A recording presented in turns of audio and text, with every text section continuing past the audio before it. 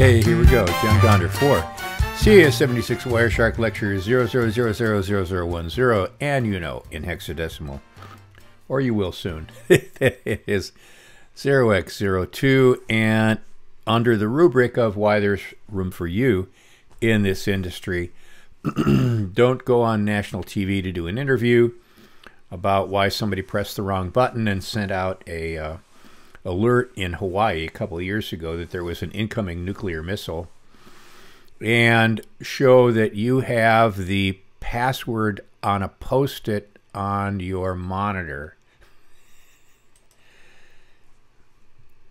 Uh, it's not really a mystery why a lot of places get hacked.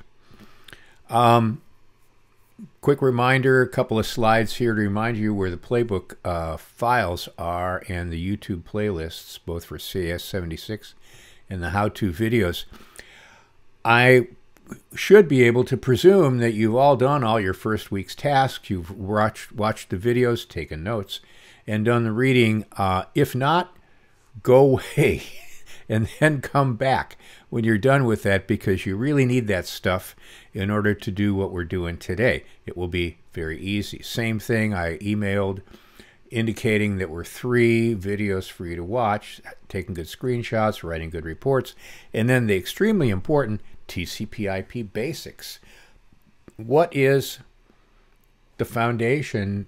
What is what are the names of these things? What are we talking about here, here as as far as how basically computers work? So uh, if you haven't watched those, well, go do that and then come back and we'll work our way through this. Um, I realized that what I should have done is not published the Who, What, Why forum on Canvas until after I showed you and reminded you that in the description, the instructions there, it said reply to my post, not make a new post yourself. Why, you ask? Well, the reason is because um, Canvas is brain dead. and unless you're replying to my post, everybody else will not be able to see and learn about you. So that's part of what the whole thing was to everybody get a little bit of exposure uh, to everybody. Honestly, I might I might try to extract all those and send it around as a PDF just so you can learn a little bit about the other students in your class. Folks who you'll be reading about and responding to up on Piazza. A lot of good work. I braided everything that was up there. Uh, I will tend to give you hints for improvement. If your screenshots are decent, you'll get the you'll get the points. Um, if not, then you won't, and you can fix them, and then I'll regrade uh, for points. I will often if it's okay but not really good, give you some hints about how to improve that because what do we want to do? We'd like to get better over the semester. Don't use dark mode. It doesn't work very well in Canvas. It looks awful. Um, so, you know, don't. Um, find QWERTY was the point in that screenshot, like the screenshot that I demonstrated and is in the PowerPoint. So if you didn't do that, then you need to go back and fix that. And then there were uh, a couple folks that are not yet on the program with uh, visible information in the graphic. The uh, graphic's not useful if you can't read what you're supposed to be able to see. So which would you write a check for? There you go. Um, questions. I'm expecting to start, start seeing questions in Piazza, and if you've got a great answer, then chime right in. That's part of why we're there, is because that is how forums work, how tech forums work. So due diligence means that you need to have checked all the basic stuff like where, where might it be? Well, how about the syllabus? Intro video, week one video documentation, your notes from those things, first day announcement. And then, of course, the, one of the reasons for having Piazza is the same questions don't have to be asked and answered every semester. And that's part of what you would do on a tech forum is you would not ask a question that's already been asked and answered a hundred times if you wanted people to have some respect for your presence on the forum. So all questions go to Piazza. I'm your court of last resort if you've done your due diligence. Um, let's see. Yeah, I mentioned about the who, what, why, and write to Piazza. Do some stuff. Uh, someone had a question about uh, common time online. This is, as it says in the syllabus, an asynchronous class, meaning that we do not have set times. And the same thing, we don't have set office hours. I've tried in the past to set up a a fixed Zoom time to have an office hour. The problem is one of the reasons that you are taking this class is so you can do stuff at your own speed at your own time. And people have work and things. So there was never anything like a common time to have a common office hour. So if you uh, need some direct help from me personally, then, like it says in the syllabus, email me, we'll set up a time. And then, of course, for all your questions that are not personal in nature, that's what Piazza is for. As we go on here, there's going to be some really picky requirements for the work that we do. Well, in part because this is science, we want it to work. And uh, not having attention to detail ends up having consequences. If you remember this, this was, well, 1999. That was a while ago, but I'm, you may very well have heard about it because it was, it was pretty much a big deal when you uh, don't convert from metric to standard and then you bury your orbiter down in the dirt. Uh, following instructions, attention to detail is going to be important. Double checking what you have posted so that when you go back to look at it, it looks right. Just because you thought it was right looking when it was there in Microsoft Word or Office or whatever doesn't mean when it's posted on Canvas it's going to display properly. Hence, a lot of the requirements about what file formats and what sizes things should be to display so that I can actually see them degrade and so that it looks more like your pro. That's what we're here for.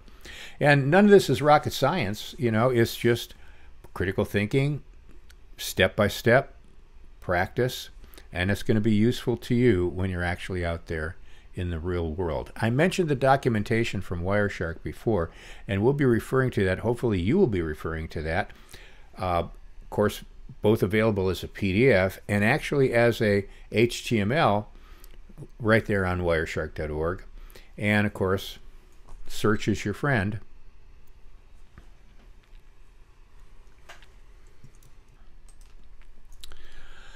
Now, I was thinking again about ChatGPT AI. Um, one of the newsletters that I want you to join is this newsletter from Open Tools that AI, AI. They cover a lot of what's happening and uh, got great links, great information. Okay. If you haven't explored in ACM yet, there's lots of benefits there. I've mentioned a couple before. Get a mentor assigned to you, have a professional looking email, not like, you know, Rocket Mail or something, AOL.com. Resume help. This is a list of the people that I want you to follow. Now, actually, a couple of these uh, have changed. Uh, Lesley Carhart, Hacks for Pancakes, for instance, the very famous uh, person in uh, in tech, is primarily up on uh, up on Mastodon where a lot of people have moved, but um, most all these people, well, Swift on security, uh, Jek Hyde not seeing much. Um, she's not doing this much before. I've got some stuff to pull out later here. We mostly do this in the fall, but uh, she was one of the uh, pen tester that used to uh, tweet live while they were breaking into somewhere. Um, Chris Greer, of course, you're going to see his videos a lot. Jeff Carrell, Mr. IP version 6, Sake Blok, one of the developers for Wireshark. Mr. SSL, whenever I have an SSL question, he's the guy I ask. Brian Krebs, uh, Bruce Schneier, uh, et cetera, et cetera. So Keith Parsons, Mr. Wi-Fi, Chris Sanders, whose book you're going to be reading some there at ACM. Follow them up on Twitland. And Mastodon, Mastodon, a lot of folks went over there as soon as Elon started destroying uh, Twitter. But anyway, And here's two newsletters to subscribe to. One is the SANS NewsBites, which come out and give you uh, what's going on. And then Bruce Schneier, uh, who has tremendous insights, uh, and uh, like that. Schneier on security. He, he's the guy. He is. Uh, there's archives from SharkFest, which happens every year. Lots and lots of great uh, presentations. We'll probably reference a couple of those. And then um, the place to go for some good info.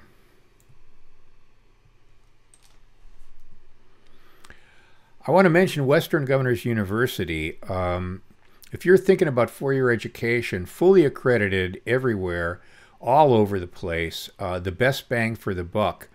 Um, these IT degrees are based on the certifications. So these are not stupid classes that are not useful out in the real world. And the cost is about $1,300 every six months, flat rate for as many units as you can complete. And the thing about Western Governors University, 19 Western states got together and created a university for people, especially folks coming back for retraining, to come to who already knew stuff. And so if you need to take a class for this um, and you know that, you buzz through, you do the final, you're on to the next class tomorrow, not 18 weeks from now. Uh, BSIT, MSIT, and the way of validating your information for a lot of the aspects in these degrees is by doing a certification for which they pay the certification test out of that $1,300. So you come out with, I'm trying to remember how many it was. One of our students from last year is in process of finishing up there right now. Um, I think the track that she is taking gets her about six or seven different certifications when she's done, plus the great degree. You cannot do better. It is best bang for the buck. Oh, I mentioned that already, Bruce Schneier. Microsoft TechNet is a forum that you should join, and the Wireshark forum there for asking questions is another one that you should join so that you start to be comfortable with operating here in the professional forum. A group that I belong to and I think is really interesting uh, is the Internet, Internet Society, the Interplanetary chapter. Um, and so that's it. You start to get involved in what's going on with the movers and shakers that are out there and getting to know some folks who will be helpful to you in the real world.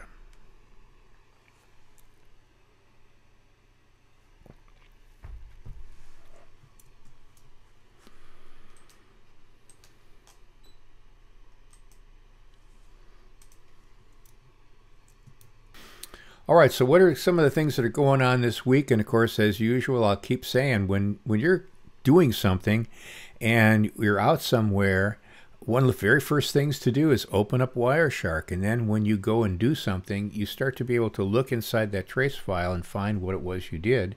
You know what you did, so that's why it makes it easy to find.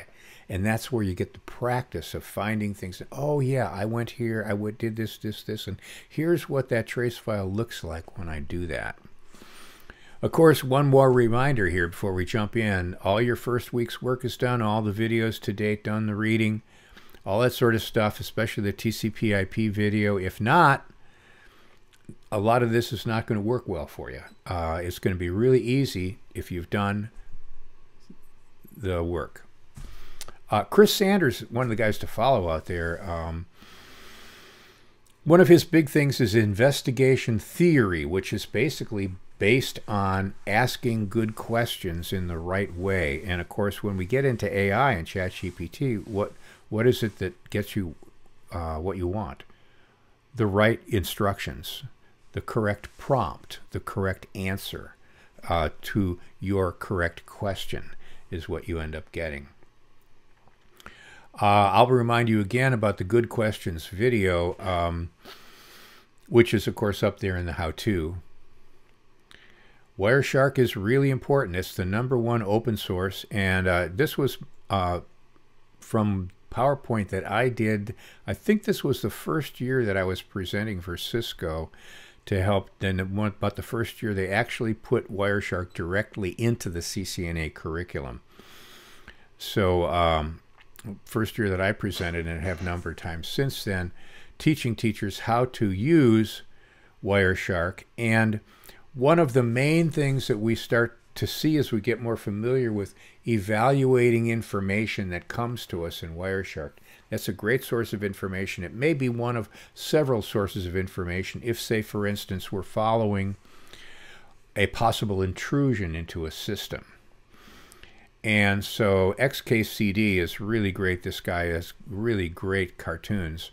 Um, but one of the most important things to keep in mind, especially when we get into the arena of uh, forensics, how do we know what we think we know? What is our level of confidence in what we think we know? And in science, we often will never know 100%. That that doesn't mean we can't do anything. That doesn't mean we can't make a decision or can't move forward on our information, but we have to understand the limits of our confidence. And then, of course, understand that a correlation is not causation. You know, Nicolas Cage movies do not determine how many people drown in swimming pools. No. And the same thing. The cat does not weigh 4,000 kilograms. So correlation is not causation. And uh, with that, I want to uh, give you a quick first case study. When stuff happens um, and I investigate it, sometimes it's interesting to take a look at that and see. So I was going to the website at Portland Community College the other day, and I could not get there. So what is the first? What is the first thing that I do? Take a guess. Well, I closed down the browser and I closed down everything else that might be running to, you know, minimize the amount of traffic I might see. And I start some notes. And everything that I do, I make a quick note. What what did I do in order what what did I see? What does it mean? And this is exactly the kind of thing that I want you to do for these labs, and you will see me do as I'm demonstrating the lab, typically using a template that I will give you for organizing the information that comes out of your work. So I closed all my apps, I ran Wireshark, opened Firefox, went to PCC, and I waited until I got a timeout. You know that thing where you wait forever and it's the blank screen and finally says, eh, can't get there from here. And then I went to another URL for PCC, waited to get a timeout. I stopped Wireshark and saved that. Well, it is actually down for a couple of days, and you can see I did a similar thing on Monday. And then, of course, is it Firefox? Is it me? I start to investigate what are the possible reasons that I can't get there. Does Chrome work and Firefox? No, same thing. So, and then I started to open up my Wireshark uh, trace files and to analyze that a little bit. So let's take a look at one. What was the first one? Um, there was PCC still down, PCC down Monday, PCC down. This was the first one. Let's open this up in Wireshark and take a peek at it. Well, down in the bottom corner here, I see on the left-hand side, name of the file, pccdown.pcapng. On the right-hand side, total number of packets in this capture, 1219. Total displayed, 1219. So none are being filtered out. I'm seeing every packet that I'd captured. And the profile that I'm using, we'll talk about more profile stuff in a minute. Profile I'm using is my new default profile, which I've defined. And as you can see by you can see by the number of profiles here that I've got a lot of them for specific jobs, and that's part of the the uh, wire Wireshark foo that you will be developing. Well, what's the number of the packet, order in which it was there, what's the time here, what does this time column show us? We'll be looking at that in a minute here. It's showing us right now what it really should default to, which is view time display format as seconds since the previously displayed packet, as opposed to date and time of day, seconds since 1970, second since the first captured packet, second since the previously captured packet. What we'll find very, very useful is to know how long it was when we're looking at a particular conversation. We filtered for a conversation. How long before somebody answered something somebody said in that conversation? How long did it take for either the information to go back and forth or the other guy to scratch his head and think about it or whatever? Uh, the source IP address, the source port from which that information was sourced, destination address, destination port, what protocol is being carried inside that packet, what conversation is this a part of? Wireshark attaches a, a letter and a number to each conversation so we can filter on an individual conversation. How long was that packet? And then general information uh, synthesized by Wireshark. Well, we can see there's a lot of SSTP here, but what do I want to see? Well, over here, green, I happen to know that's supposed to be TCP or HTTP. Well, you know from watching that TCP IP video that before we can send information, we have to create a pipe for that, which means at layer 4, there has to be a, a TCP handshake. SYN packet goes out. I'd like to synchronize with you so these guys here at the application layer can send some information. Acknowledgement comes back. That's okay, I acknowledge your SYN. By the way, I would like to synchronize with you too. So SYN, SYN ACK, and then, okay, I acknowledge your SYN. Now we've established at layer four this TCP pipe. Well, in my particular profile here, I have a bunch of buttons, and you're going to learn about those to simplify my driving down into this batch of data and finding something particular. In this case, I'm going to drive down here and find SYN packets going out. So here now I've filtered for using the syntax tcp.flags.syn equals 1 and tcp.flags.ack equals 0. So it's a SYN but not a SYN-ACK. So it's a SYN, not a SYN-ACK. So we see all these SYNs going out here. Packet 1, 34, 5, 6, 7, 8, blah, blah, blah. What do we see? SYN, SYN, SYN, SYN, sin, SYN. Retransmission, retransmission, retransmission. That is not good. If I keep saying, hey, hey, hey, and nobody says anything back, what does that say? Well, here's where we start to narrow in on problems. I'm sending SYN, so that means what? My system's working. I've got a connection to some network here. I can send out packets over and over again. Is the packet getting to the other end? I don't know. Is there somebody alive at the other end connected to a network? I don't know. Is there an operating system with a functioning TCP stack? I don't know. Is there an application sitting on top of a functioning TCP stack at the other end? I don't know yet. Let's look a little bit farther. I'm going to look at SYNs and SYN-ACKs. Not seeing any SYN-ACKs. So, retransmission, retention, blah, blah, blah, blah, blah, blah, blah, blah, blah, blah, blah, blah, blah, retransmission, retransmission. So, what have I found out?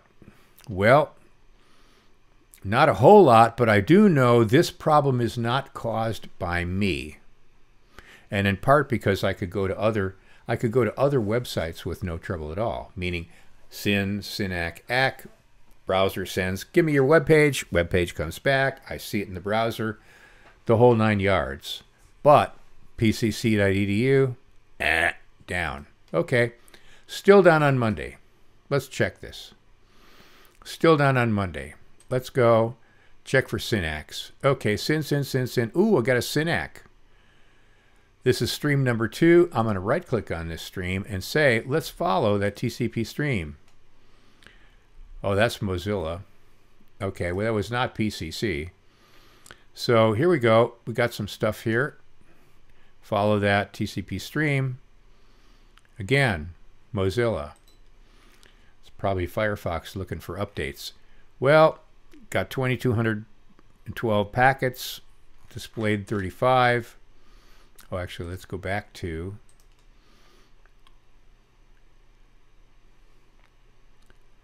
just to look at SYN-ACKs. Well, I got a SYN-ACKs, SYN-ACKs, SYN-ACKs for these streams.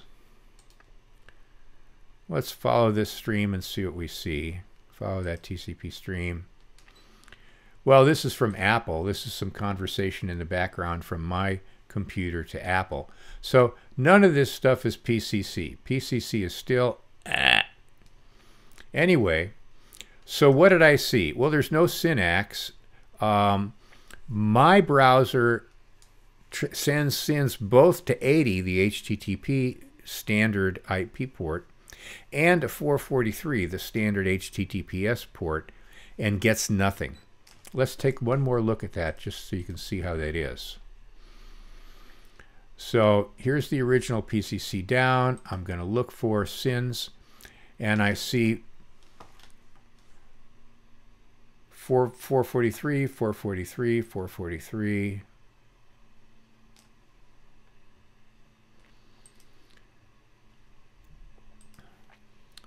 Still down. Let's look at that one. 443, port 80, 4, so the mechanism of my browser is trying both possibilities. Chief, I can't get in there with HTTP. Maybe I can get in there with port 443 and it'll do HTTPS. Or maybe I'll try them back and forth and, you know, at any rate. So I can see that my browser's, it's given the, the good old college try.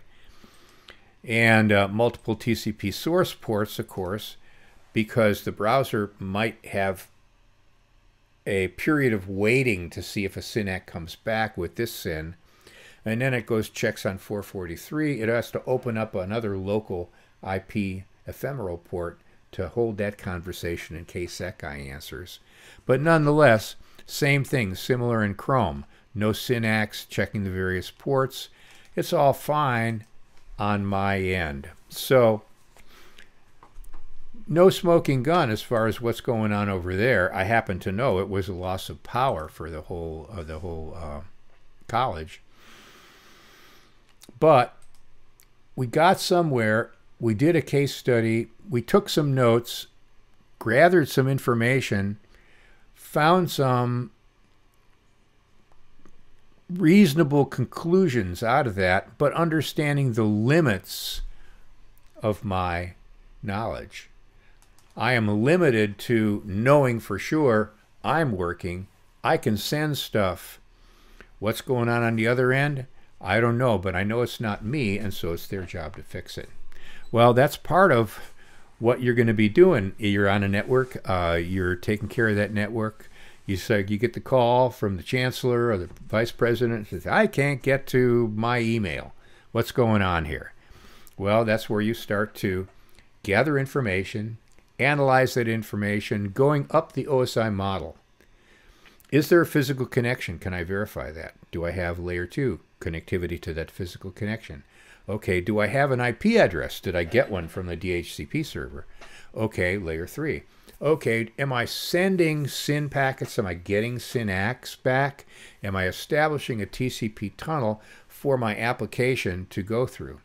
Maybe I'm establishing a tunnel and local application's not working.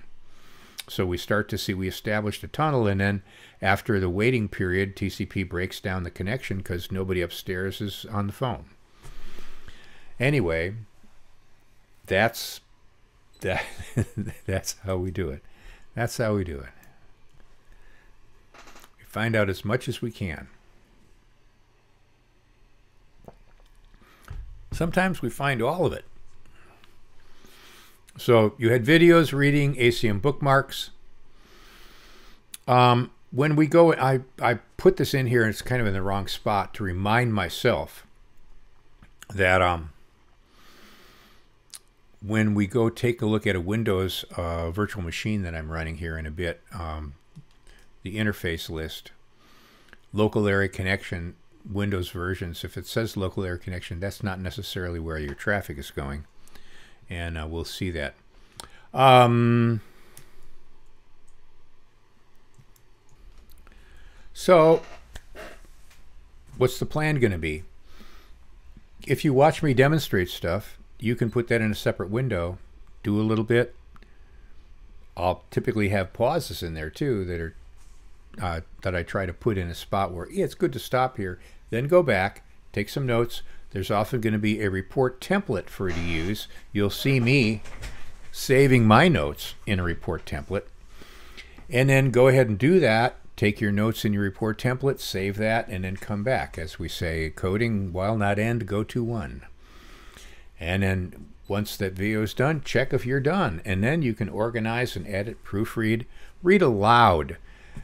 Uh, a, a spell and grammar check will not check for the word, same word twice.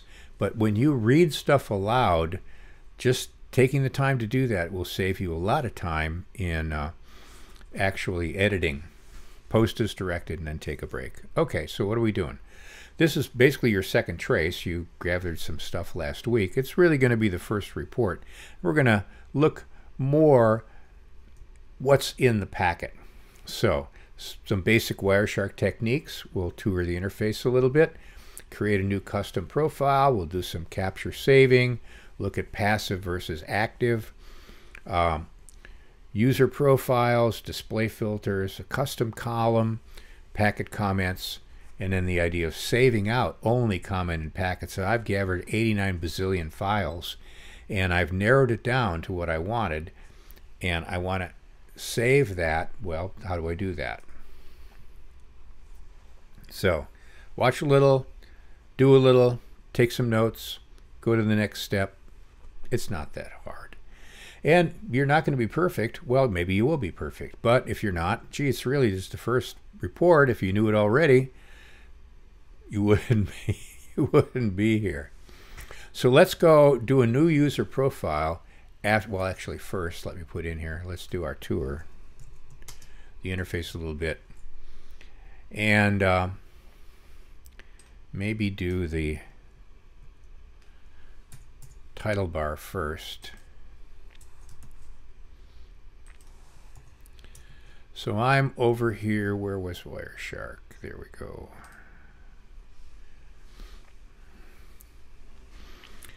Okay, opening Wireshark. Here's the splash screen. What have I got? Well, here's the list of files that I have recently opened, or maybe I've moved it, and so Wireshark knows the name, but it can't find that right now.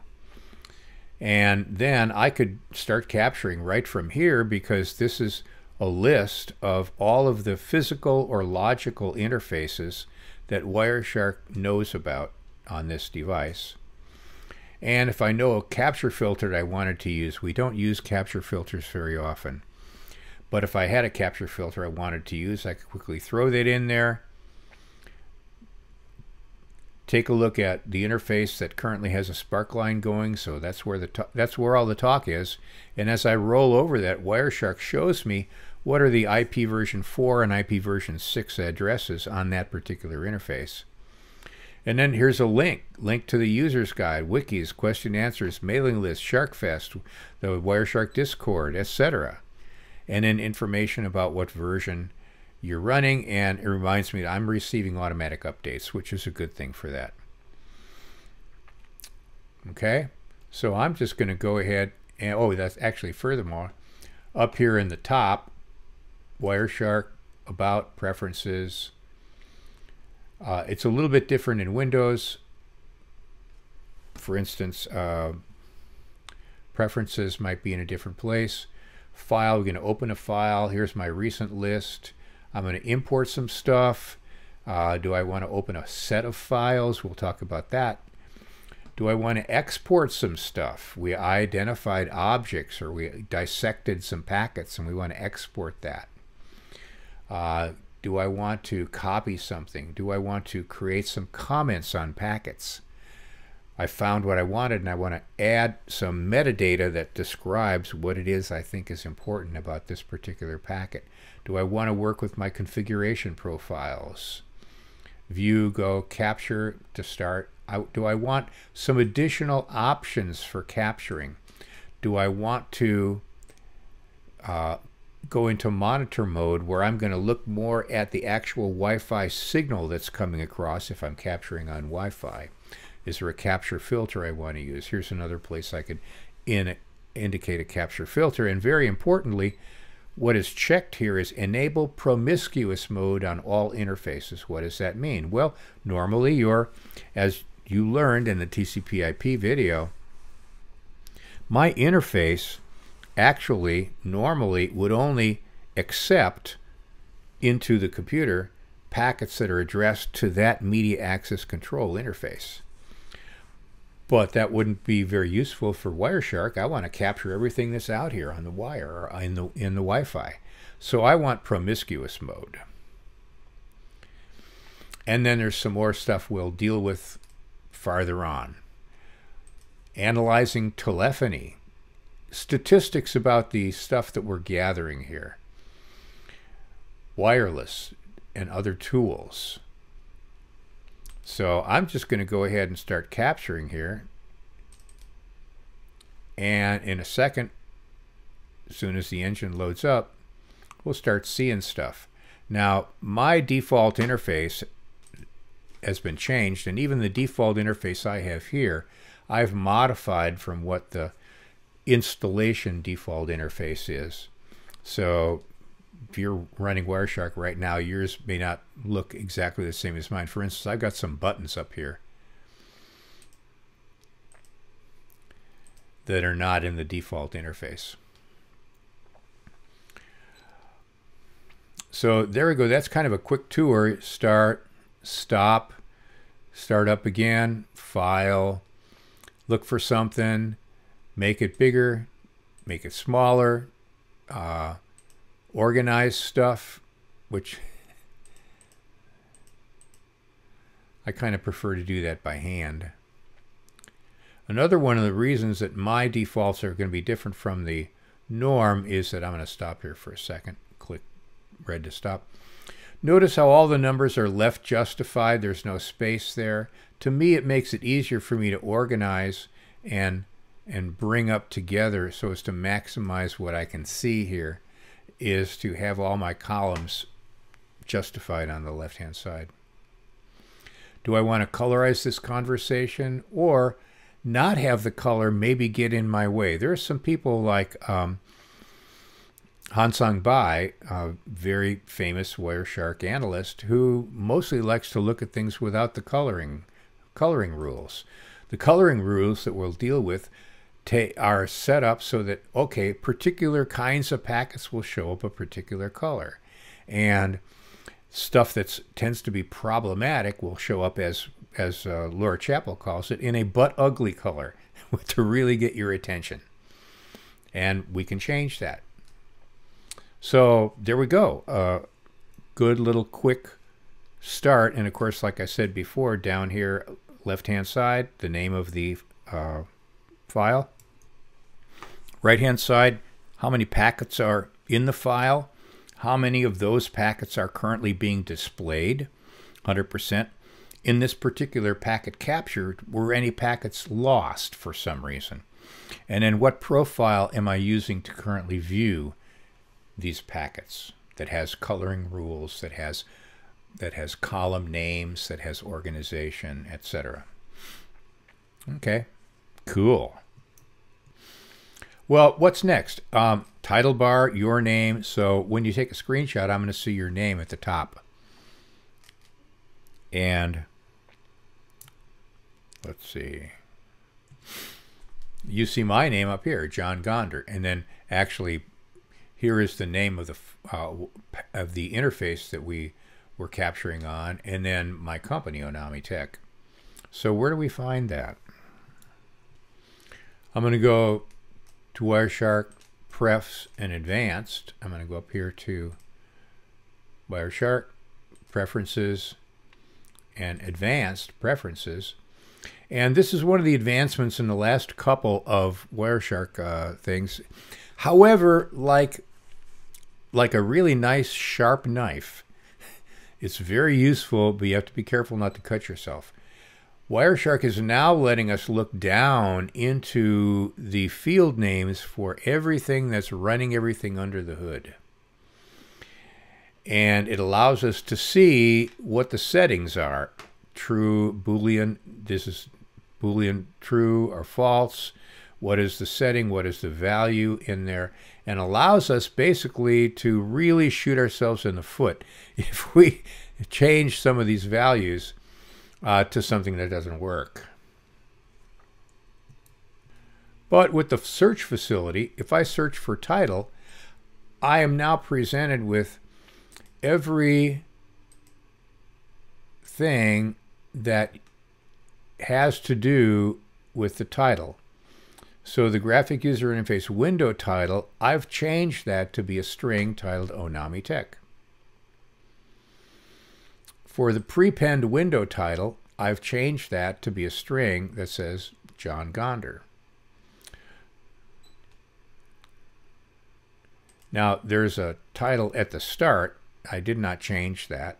There's a version placement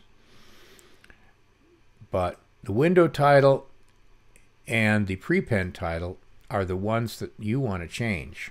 So as a matter of fact, I'm going to take not this whole thing for a screenshot, but I'm just going to take this much of the screenshot, which shows me what it is, Wireshark preferences, what we're doing, what we're searching for, and what we found, so that, just like you saw demonstrated in the uh, Taking Good Screenshots video, if I open this up in my preferred uh, graphic application, mine is GraphicConverter, I can then highlight what it is I'm talking about. Actually, let's get rid of that. Let's let's just underline it or point it out. Those two.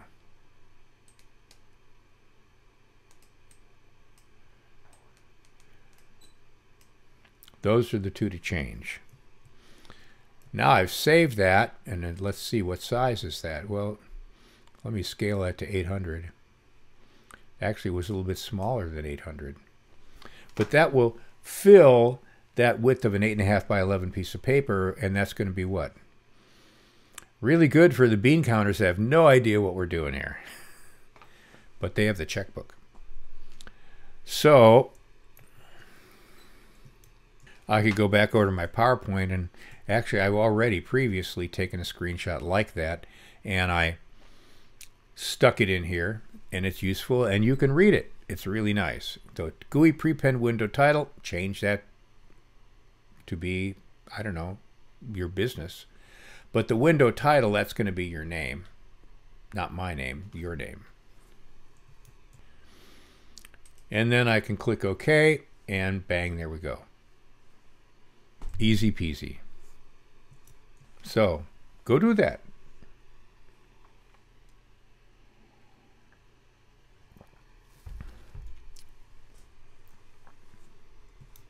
So when I've got a trace that has a whole bunch of stuff, I'm looking at, well, this is a small file actually, only that. Let's, for fun, let me go here to see if I can open my recent something. Oh, I opened PCC down. Well, just go back to PCC down. I want to continue without saving that. I never saved that. Well, actually, one of the things that we, we should do first, as soon as we've captured some packets, go ahead and save them so I can't accidentally lose what it was that I saw, because I may not be able to see it again. Well, I got what? Uh, 1,219 packets, and uh, what am I looking for? Well, I can apply a filter here and Wireshark will, with the type down, tell me every valid filter syntax that begins with those, those letters. And if I either type down and choose it or finish typing it, Wireshark will show green, which means that's a valid filter. I can go ahead and click the arrow and we'll filter up. And it's a valid filter, but they ain't none. well, remember, this was down, wasn't it? Well, what about TCP? Well, there's a lot of things we can filter for that begin with TCP. Very detailed things, particular fields inside that packet. Look for SYN packets. That's why I actually got a button over here so I don't have to try to type that stuff in for stuff I have to look for all the time. We'll, we'll play with buttons very soon. And then, bam. Nope, weren't any SYN packets there to see. At any rate, so this could also be, I could start to find, find a packet that has either a display filter, a hex decimal value, a regular expression, a Boolean expression, or a particular string. I could put in here something I want to look for.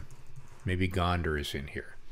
And then do I want to look all over? Do I want it to be case sensitive? Where do I want to look?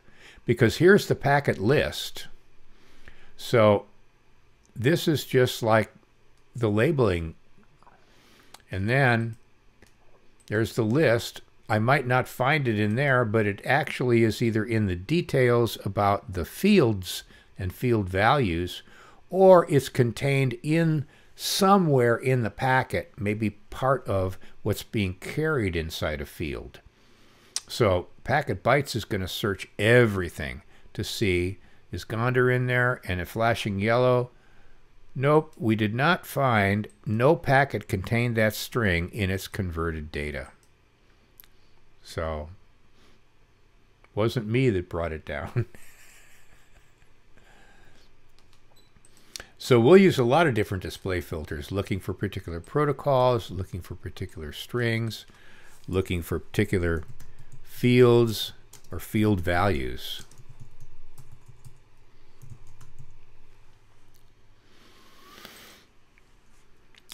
Bit of a tour. Okay. Try that out a little bit. You know the names of some of the protocols now, DNS, HTTP. If you've captured Wireshark a little bit, you've got a couple of uh,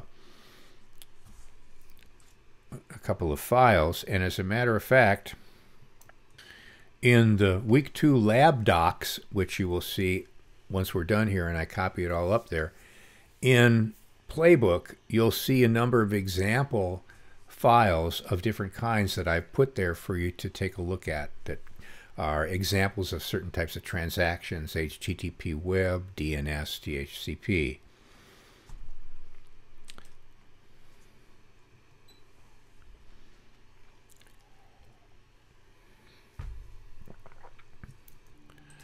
Okay, well, the next thing we're going to do is we're going to create a custom column.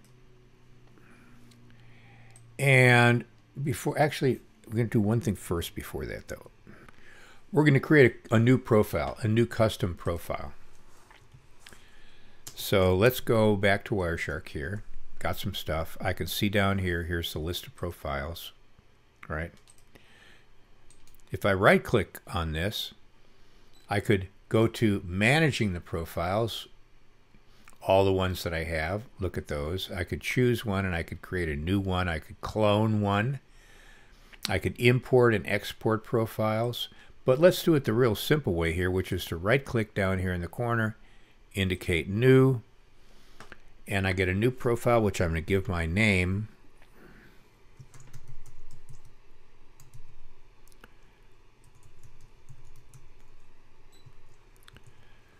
Test student and it's going to be created from the default profile. So I already said my default profile has changed a little bit from yours. But here's what it looks like. Now I have a profile, we're looking at it, that's test student 24, and that is pretty ugly. First of all, it's kind of small. Second of all, it's a really funky font. And third of all, notice the way the panes are the here here's the list, here's the details, then here's the bytes and bits. So a lot of what we're going to do is not really going to be looking at the ASCII translation of the hexadecimal. But it's going to be very useful to have a visual picture of the structure of the packet because the structure of each individual protocol packet is a little bit different and visually visualizing that is great. So I'm going to now go up here to preferences and I'm going to go to layout and we can see we've got the one, two, three changed. So instead of for two, instead of packet details, I'm going to say packet diagram. And instead of packet bytes, I'm going to say packet details here. We're going to leave these the same. Enable mouse over colorization, allow the list to be sorted, show the column definition, the column context menu, etc. Status bar settings. And now we see here, here's a packet, and here's the structure of that packet. It's an Ethernet packet, and, and bytes 0 through 31 are the destination IP address. Then here's the source IP address, or I'm sorry, the, the destination MAC address, and then the source MAC address. Over here, when I highlight a field, I see the information that was in that field. When I highlight another field, I see highlighted the information that was in that field. This is the media access control address of my source of this packet. It's an alpha network device with this serial number and the actual hexadecimal that Wireshark interprets to be this brand is 886A E3 and then the serial number on that uh, on that interface card is 902D4F. There we go. What's being carried in inside this Ethernet frame is IP version 4. And what's the information in the IP version 4 header, time to live, all this sort of good stuff here. And so that's really handy. You can see the structure because it's like this. It's like those nesting things. Here's the Ethernet frame. Right? Bam, bam. What am I carrying inside? I'm carrying IP version 4. IP version 4. Okay, well, what's being carried inside the IP version 4 frame? Well, it's version 4, differentiated services, total length, any flags. Is this a fragment? In, in which, so how far from the front should this fragment be stuck to be assembled with another fragment? How many hops out on the net can we send this before it has to die so it doesn't circulate forever? What's the source IP address, what's the destination IP address, and inside was that user data protocol. All right. Carrying UDP, what's the source port, destination port, how long is it, what's the actual payload inside here, what's the actual information being carried inside there. Well, at the session layer then, what we've got here is simple service discovery protocol, blah, blah, blah, blah, blah. So inside, inside, inside, inside.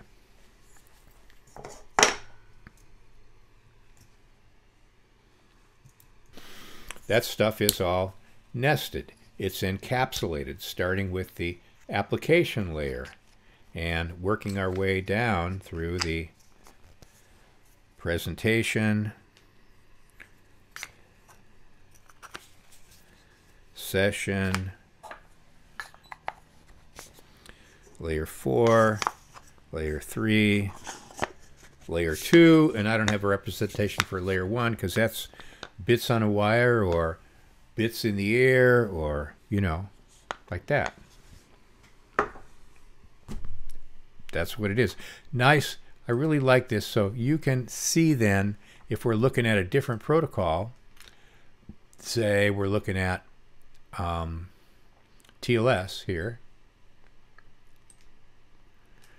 Well, there's got to be an Ethernet component because it's an Ethernet uh, frame. It's carrying IP version 4. It's an IP version 4 destination source address. There's TCP inside, source port, destination port, sequence number. if this is part of a stream, which chunk is it to reassemble at the other end? Is this an acknowledgement for getting something? Are there flags? Are there options? What's the payload actually inside? Well, the payload is transport layer security. So that's the stuff that's inside there. And at each layer, we can open that up and see what are the field names and then what are the values of those fields inside that packet. So now to go back to our profile, I've we've changed our profile just a little bit and there's all kinds of other stuff I could do with this profile. I could add some of those really cool buttons that are in some of these other profiles. Actually, very soon I'll give you a batch of already pre-cooked profiles. That's one of the things that's really handy if you know somebody out there, like I'm telling you to become friends with, who will often publish a profile for a particular job. Very handy. If you see some of these, you can see they're from. Here's here's Betty Dubois. She's got a whole bunch she's put out there. Uh, Jasper Bongertz, you know, what's a profile that he uses when looking for bad stuff? What about Carrie, uh, et cetera, et cetera?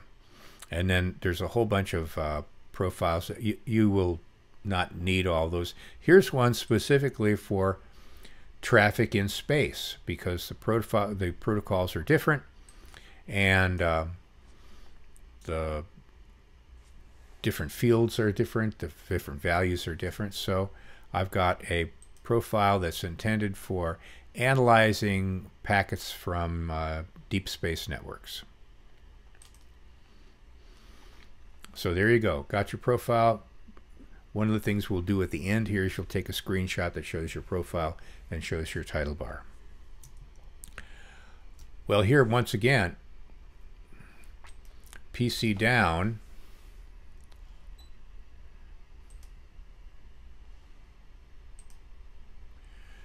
Notice this changed. I went to my new default and my name came back. I go to my new profile and that's not there anymore because that's one of the things that's stored as a setting for that profile. Well, now if I want to take a screenshot with my name on a profile and my name on the title, I got to go do that again. Go here, go advanced, go uh, title. And I want to prepend window title, string, maybe spell it right. Go here with him. Bam. And now we go. There we go. Got my name, not spelled right, but you know. And my profile for me, bam. Well, if I want this to be really nice, what am I going to do? What are the two things I'm interested in showing to you so you write me a check? This and this. So that's what I'm going to take the screenshot of once I've squished this up as much as I can while keeping the information that I'm interested in which means then that when I open that up and I highlight the things that the teacher is looking for or, or obliterate them so that they can't be seen. How about that instead? Okay. There we go not exactly award-winning graphics, but nonetheless, then what's my size? 800. Well, that was about 800. So that is really big. Nobody can say they didn't see what it was they were supposed to see. So, bam. Well, there's one more thing that's going to be in that picture, and that's creating a custom column. So, and that's part of what's happened to create these very useful other profiles looking for certain things. If we're looking for some thing that's gone wrong with TLS, for instance, one of the things that we, we might want to look at is, well, how about what version of TLS is being used? So I can find that, I can right click on that, and I can filter in different ways. I can prepare a filter, meaning it will say this, but then I can add more stuff to it. Just apply it as it is, or not this. A conversation with it, or follow that, right? Or I could just create a column based on the value of this field. So now here's this new column called version. And I can right click that, go to my column preferences, uh, do different things with it, or go to edit the column, and I can give it a better name. I could say TLS S ver. And it's the tls.record.version, which is the actual value we're looking at. And then I could drag it around somewhere else if I wanted to be in a different place. So now I've modified my test student account.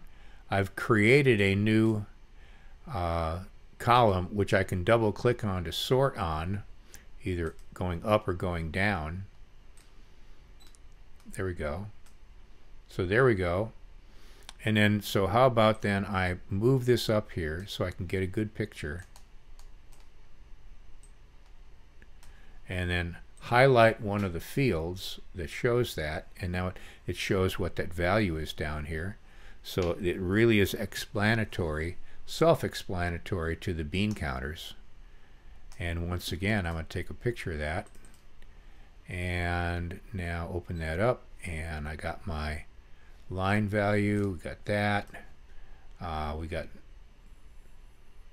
hmm, maybe I'll we got this there's my column. And uh, there's my profile name. Bam. Easy peasy. Go do that. So here's some of the files that are currently in the Week 24 Lab Docs folder. I'm going to modify this. I dragged a whole bunch of junk in here. and uh, before I copy this folder up. So what you will see some examples of Wireshark trace files for things. Here's when DHCP worked good. Here's when DHCP didn't work so good. Um, here's a download HTTP that's working good. Um, anyway, and then there'll be a report notes template here and I'm going to modify this to make it a little bit simpler because we're really not doing that much this week. Oh, your name, a little title, and then you saw I took notes as I do. I, I, you've seen how I take notes as I go along. You've been taking some notes, so you can throw those in here. And then here's where we're going to put that screenshot that you took that shows those three things. The title bar, title bar, custom column, a new profile, and then you don't have to, but if you want to discuss something, did you see anything cool while you were there? Did you have some fun? No citations needed. Really simple this week. And we'll talk more about reporting for this coming week. So once I've done this, if I am doing this in something like Microsoft Office, so when I say a screenshot, I want it to be inside not some other reference to a file that you've stuck somewhere up in Canvas. So since I'm working in a text editor, I'm going to have to make this rich text so that I can go to, oh, not that.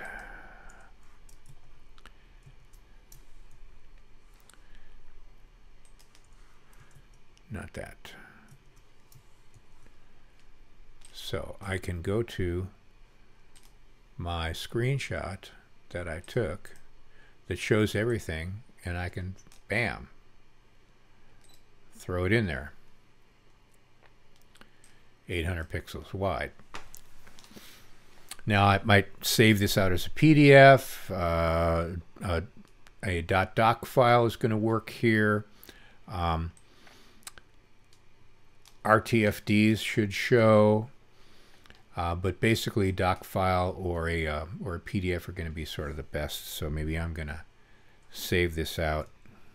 I'm going to print this out as a, save it as a PDF and call it to report. Bam. There we go. So that's your simple report, the work you did, and the documentation of it with that good screenshot. If you write some stuff down with the notes that you took, especially if you write something down talking about it, read that out loud, practice that, and then look at it again, thinking, would you write a check for this? Once you've posted it up in Canvas in the correct spot, double check to make sure that it's good. Just do the 29th midnight. In the week two, my first report spot. Okay, so what's the bottom line? Well, we did a bunch of stuff. We looked around Wireshark. Uh, you did your reading and videos before you did all this, right? All right. You took your lab uh, screenshot and you put it together with the text all in one, and you put it in there before the 29th. There'll be another email coming with some new reading and new videos, getting ready for delving a little bit deeper into the protocols themselves next week. So have some fun, play around, uh, maybe start a Wireshark trace file and go a couple of places, do a couple of things, go back into that trace file and see if you can see what you did. Have fun. We'll see you on the net.